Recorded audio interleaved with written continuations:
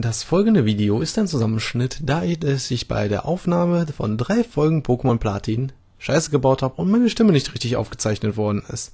Also, los geht's. Die Aufnahme begann, indem ich mich erstmal aufgeregt habe, dass ich aus der Stadt nicht rauskam, weil der Typ meinte, ich sollte zum Fahrradweg gehen. Beim Fahrradweg wurde ich zurückgeschickt, habe mir den Forschersack geholt und konnte dann endlich wieder in die alte Villa. Dort habe ich Rotom gefangen, das hat ein wenig gedauert, worüber ich mich auch ein paar Mal aufgeregt habe und das Ganze zusammengeschnitten hätte. Nachdem wir also in der Villa fertig waren, sind wir den Radweg runtergedüst und haben da ein paar Trainer bekämpft. Nachdem die Trainer bekämpft waren, bin ich in die Höhle rein, habe mich da verlaufen, habe mich aufgeregt, habe die Folge dort beendet und habe dann nachgesehen, ob man dort Kaumalat fahren kann. Man kann dort Kaumalat fahren, muss aber einen anderen nehmen, der versteckt unter der Brücke liegt. Nachdem ich dort runtergegangen bin, haben wir dort ein paar Items gefunden unter anderem die TDM Erdbeben, habe dort ein Kamerad gefangen, bin wieder raus und bin in Richtung Herzhofen gelaufen. Ja, und im Kraterberg habe ich noch Cyrus getroffen, der irgendwelchen Müll gelabert hat. In Herzhofen angekommen, bin ich erstmal in ein Hassbüro reingerannt. Dieses Hassbüro gehört einer Dame, die hat sich dafür bedankt, dass ich in das Hassbüro reingerannt bin und hat es mitgenommen.